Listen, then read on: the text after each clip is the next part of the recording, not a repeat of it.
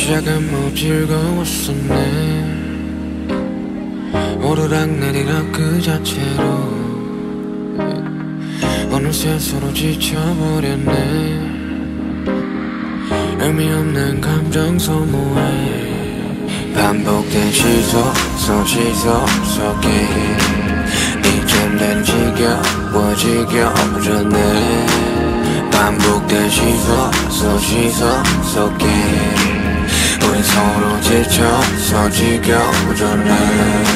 사소한 말다툼의 시작이었을까 내가 너보다 무거워졌었던 순간. 애초에 평행은 존재한 적이 없게 더욱이 욕심내서 맞추려 했을까 사랑이었고 이게 사랑이란 단어에 차츰엔 굳이 반복해야 할 필요 있을까 서로 지쳤고 같은 카드를 쥐고 있는